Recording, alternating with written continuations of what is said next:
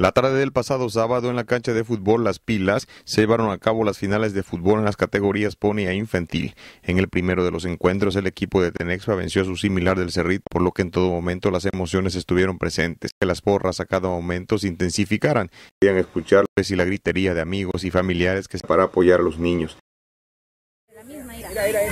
Vaya.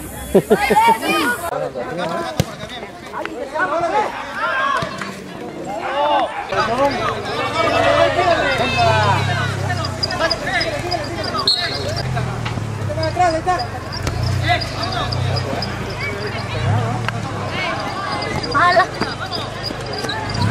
¡Rayo, ponte la rayo, portero!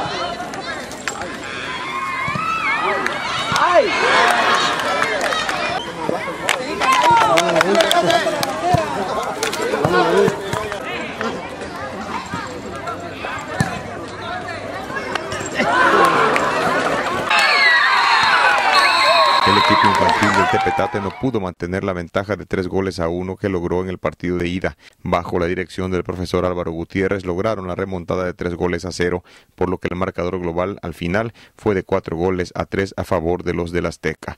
Minutos después, bajo la lluvia, se llevó a cabo la ceremonia de premiación. Al respecto, el responsable de la liga, Lío Messi, José Ramón Raigosa, destacó la gran participación de los jugadores y padres de familia.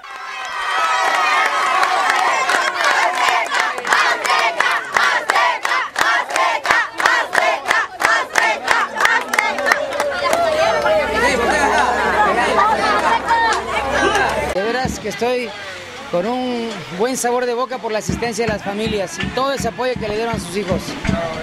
Se vio muy buen nivel, mucha emoción sobre todo. Sobre todo eso, estuvieron los partidos eh, de a tú por tú.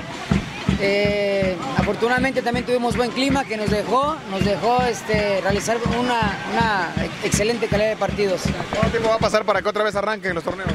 Esperamos ahorita darle una pausa de 15 días y en esa pausa de 15 días vamos a tener también partidos amistosos para programar y comenzar con la siguiente temporada. Esto obviamente la respuesta que, que has tenido va a generar la intención o el interés de más gente por meter más equipos.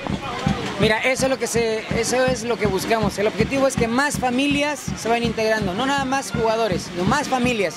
Y aquí lo que buscábamos es que la familia se integrara y dedicarse tiempo de calidad a sus hijos. En la premiación estuvieron presentes el director de la Juventud Municipal, Jonathan Martínez Caro, el subdirector del deporte, Néstor Cabañas, el árbitro de fútbol, Fidel Rendón, y mucha alegría que se vivió durante esta ceremonia.